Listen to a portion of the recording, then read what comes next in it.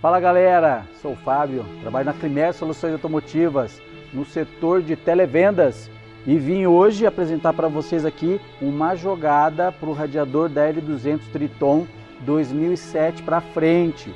Mas isso logo adiante vocês vão ver no foco ali, no detalhe, essa diferença aí. Mas ó, antes da gente começar o vídeo, eu peço para vocês, entre na nossa página, faça sua inscrição, ative o sininho para estar tá recebendo as, as dicas, as barbadas, muito importante, não é coisas assim, textos que a gente pega de livro e toca ali, não, a experiência do dia a dia, né? Dê aquela fortalecida pra gente, tá bom?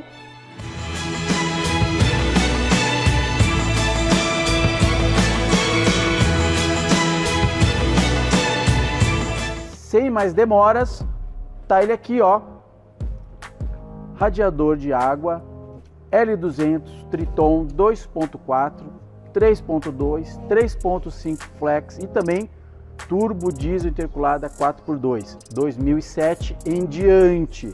Aquela que tem um retorninho, ó, rente ao cano d'água com bocal de abastecimento.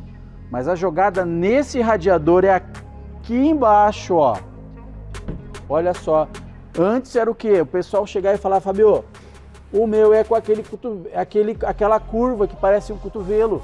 Mas aí o que acontece? O fabricante valeu, veio e tá mandando com os dois. É só soltar e utilizar o que está no, no carro do cliente. Não tem problema nenhum. Ou seja, deixa de lado ou entrega para o cliente. Olha só que barbada. Antes a gente ficava, era uma, era uma medo ah, peraí, qual que está no cliente? Tira foto, manda para mim. Ah, manda para o cliente, manda. Na dúvida, olha só o que a Valeo fez para gente. Olha que barbada aí, ó.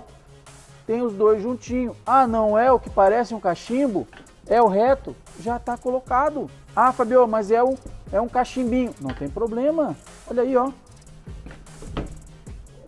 Desparafusa, põe o cachimbo, parafusa e ó, só deixar o cliente faceiro. Bem, uma dica simples, rápida, mas que com certeza vai fazer a diferença para você, para o nosso cliente final. E fica o meu cordial. Um abraço!